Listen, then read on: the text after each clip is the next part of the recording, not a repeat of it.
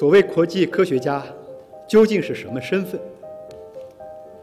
公开性发起人中的一位是美国智库大西洋理事会高级研究员，这无法掩饰他曾是美国白宫国家安全委员会委员的政府背景和政客本质。还有一位是银行的数据工程师，却冒充病毒溯源问题的专家，发表未经求证且不负责任的言论，真可谓是。无知者无畏。公开信还提出，由西方国家与七国集团、美日印澳四国机制等共同开展替代调查。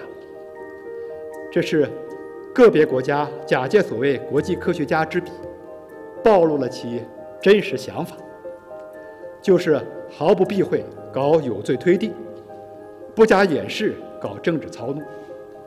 我再次强调的是，溯源的工作。是科学问题，坚持依靠科学家，坚持科学态度，坚持运用科学方法，才是正确路径。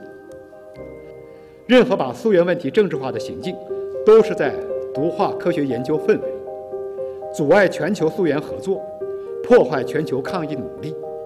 我们奉劝个别国家和有关势力，停止这些拙劣的表演，真正为人类生命健康做出积极的贡献。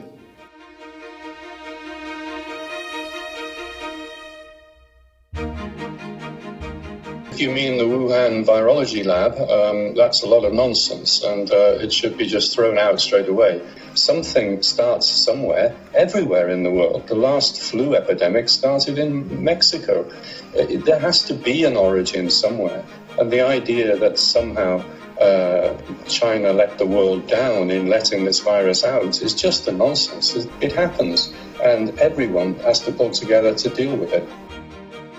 We certainly visited uh, the Wuhan Institute of Virology and other laboratories as well.